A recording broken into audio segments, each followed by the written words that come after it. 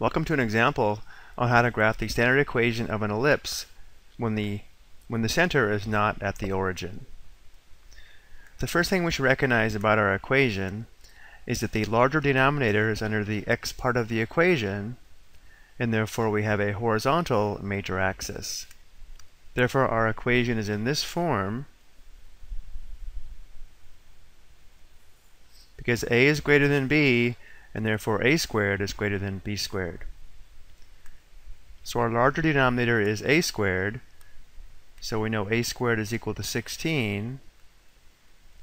We're going to use the positive value of a to help us graph the ellipse, and since 4 squared is equal to 16, we know a is equal to 4.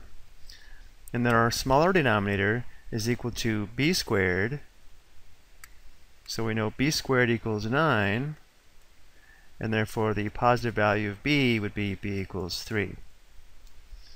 So we'll use the value of a and b to help us graph the ellipse, but we'll start by finding the center of the ellipse. The center of the ellipse has coordinates h, k, and because we have the quantity x plus 3 squared, the x-coordinate of the center will be negative 3, and because we have the quantity y minus 2 squared, the y-coordinate is positive 2. Notice how the equation has to be in the form of x minus h and y minus k. Another way to remember the sign of the coordinates is it's the opposite of what we see. If we see plus 3 with the x, the x-coordinate is negative 3. If we see minus 2 with the y, the y-coordinate is positive 2. So let's go ahead and plot the center of our ellipse. Point negative 3, 2 would be here. So this is our center. Now if we take a look at our notes for a moment, here's the center of the ellipse with a horizontal major axis. Notice the endpoints of the major axis, also called the vertices of the ellipse, are a units to the right and left of the center when we have a horizontal major axis. So for our example, since a is equal to 4, if we move 4 units to the right of the center, this would be one endpoint of the major axis. If we move left 4 units from the center, this would be the other endpoint of the major axis. Also notice the major axis has a length of 8 units, or 2 times a units. Now that we've plotted these points, we can determine the endpoints. The endpoint on the left would be negative 7, 2, and the endpoint on the right would be 1, 2. Again, these are also called the vertices of the ellipse. And now to find the endpoints of the minor axis, going back to our notes, notice that the endpoints of the minor axis are b units from the center, and because we have a horizontal major axis, the endpoints of the minor axis would be b units above and below the center. And since b is equal to 3, one endpoint of the minor axis would be 3 units below the center, 1, 2, 3, which would be here. The other endpoint would be 3 units above the center, which would be here.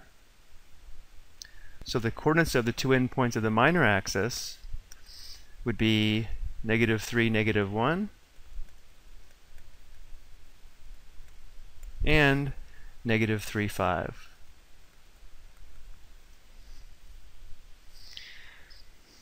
We're also asked to find the foci which are the two fixed points inside the ellipse, here and here, notice these two points are on the major axis and C units to the right and left of the center. So to find C, we can use this equation here, a squared equals b squared plus c squared. And since we know a squared is 16 and b squared equals 9, we can easily determine c. Let's go ahead and do this on the next slide. Let's go ahead and solve this for c squared by subtracting b squared on both sides. We have c squared equals a squared minus b squared. So c squared is equal to a squared, or 16, minus b squared, where b squared is 9. So we have 16 minus 9. So we have c squared equals 7. We're only concerned about the positive value of c. So we'll take the principal square root so we have c equals square root 7. Because we'll use this value to plot the foci on the coordinate plane, Let's go ahead and get a decimal approximation for this. It's approximately 2.646. So we just found c equals square root 7, which is approximately 2.646 units.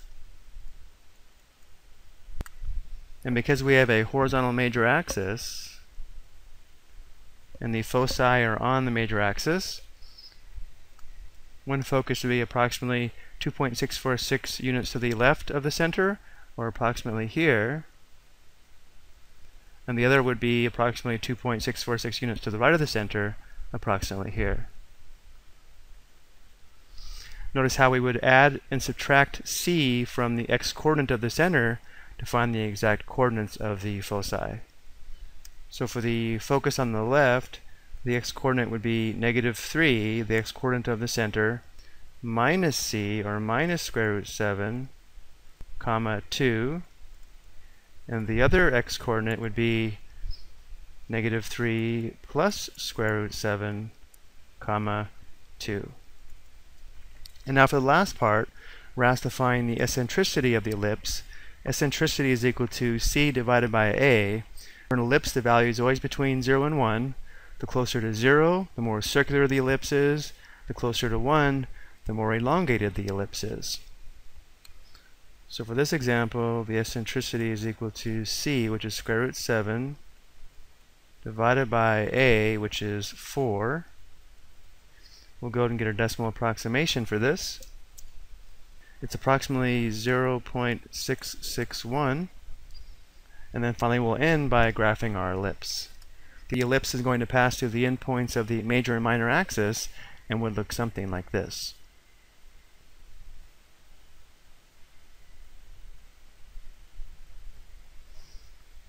Again, we have a horizontal major axis because that's the longer axis, and we have a vertical minor axis, which is the shorter axis. Notice the length of the major axis would be 2 times a, the length of the minor axis would be 2 times b. I hope you found this helpful.